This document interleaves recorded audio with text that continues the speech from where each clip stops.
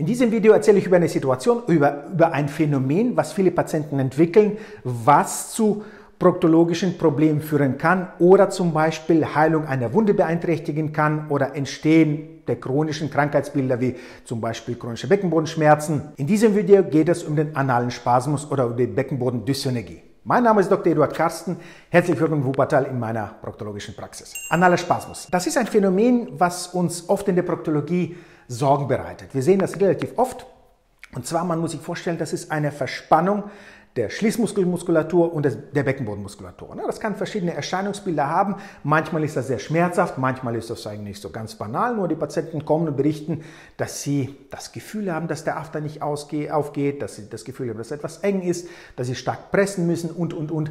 Und da müssen wir ein bisschen darauf achten. Was passiert oder was ist das eigentlich? Oder wieso muss man das überhaupt in Betracht ziehen oder wieso muss man darauf achten? Eine chronische Verspannung am Beckenboden und am Schließmuskel kann zu Problemen führen. Ne? Das, ist, das kann selbst ein Problem sein und das kann auch auch sehr schmerzhaft sein. Das kann aber zum Entstehen der proktologischen Erkrankung beitragen, zum Beispiel bei einer Analfissur, weil das auch die Heilung oder die Regeneration verhindert. Wie kommt das dazu? Also man muss sich so Folgendes vorstellen. Wir haben einen unseren muskulären Beckenboden, wir haben unsere zwei Schließmuskeln, es funktioniert alles wunderbar.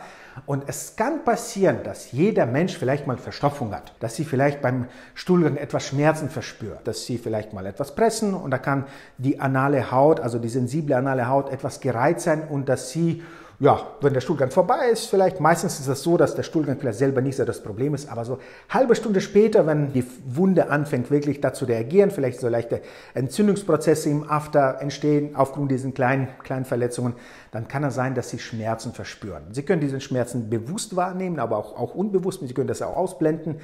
Und der Schließmuskel oder auch die Muskulatur in dem Bereich reagiert wie jede Muskulatur, wenn sie Schmerzen hat, die fängt an sich zu verkrampfen. Wir überspielen das oft, vielleicht nehmen das auch gar nicht so wahr und diese Verspannung kann sich manifestieren. Und dann passiert das auch folgendes. Ne? Das bedeutet, wenn der Muskel dann oder die Muskulatur einfach überbeansprucht wird, kann sie sich auch schädigen. Das ist genauso, wenn Sie, wenn sie jetzt eine Hantel nehmen und 500 Curls machen ne, und mit dem Bizeps und dem Gedanken, ne, dass es nach irgendeinem, es wird das einfach wehtun ne, und Sie können auch die Muskulatur schädigen. Aber hier am Bizeps können Sie das auch mal vielleicht mal lassen, ne, das können die Handel weglegen. Da unten funktioniert das nicht. Denn Sie auch Teil der Muskulatur, insbesondere den inneren Schließmuskel, nicht willentlich beeinflussen können. Das bedeutet, dass, dass Sie noch mehr Schmerzen verspüren. Die noch mehr Schmerzen bedeutet, dass Sie noch mehr Verspannung bekommen und das ist ein Teufelskreis. Wie fühlt sich das an?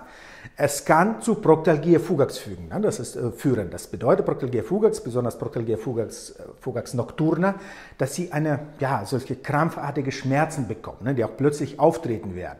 Das ist ein Erscheinungsbild. Es können auch zum Beispiel äh, andere Symptome. Durch diese chronische Verspannung können auch Nerven irritiert sein, besonders Nervus pudendus.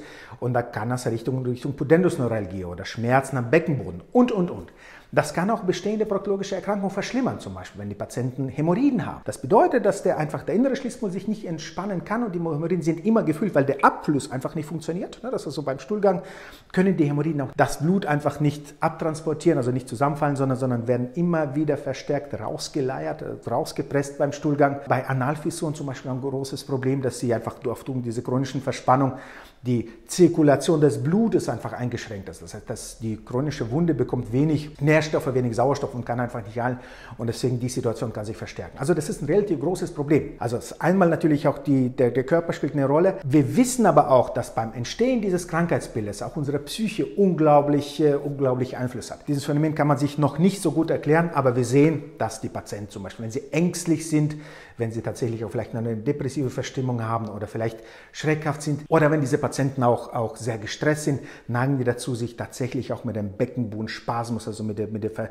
Verstärkung der Verspannung einfach zu reagieren. Was kann man machen? Letztendlich, also Nummer eins, wir müssen natürlich die grundproktologische Erkrankung behandeln, die vielleicht auch dazu geführt hat. Aber ansonsten ist das so, dass wenn wir das diagnostizieren, wenn wir darüber sprechen, dann ist das oft, dass das Problem schon sehr lange besteht. Das ist ein chronisches Problem, das ist äh, schwer dann auch durchzubrechen. Das bedeutet, die Patienten müssen erstmal aufgeklärt sein, damit sie verstehen, was da passiert. Entspannungsübungen sind da gar nicht so schlecht. Das ist so, die warmen Sitzbäder kann man eigentlich verwenden. Man kann auch Biofeedback-Training verordnen, also dass die Patienten lernen, aktiv den Becken- und den Schließmuskel zu entspannen.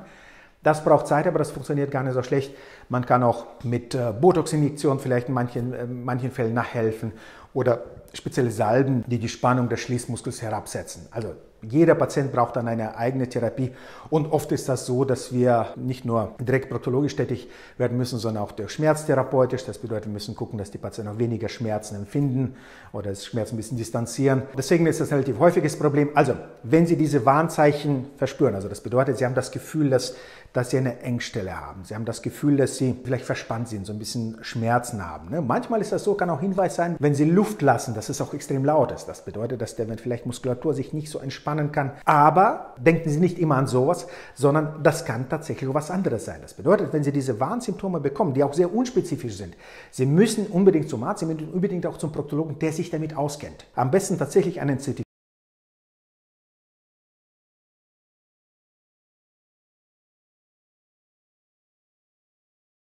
weil oft wird das einfach übersehen oder gar nicht wahrgenommen. Ja, leider nichts gegen die Kollegen, die vielleicht das, äh, das nicht, so, nicht so auf dem Schirm haben. Das ist etwas sehr Spezifisches und das wird leider oft übersehen und gar nicht so wahrgenommen. Wenn Sie das Gefühl haben, dass am Beckenboden nicht stimmt, also unbedingt bitte zum Arzt, also zu einem Proktologen oder Proktologin. Ansonsten vielen Dank, dass Sie dieses Video bis zum Ende angeschaut haben. Ihr Dr. Eduard Karsten.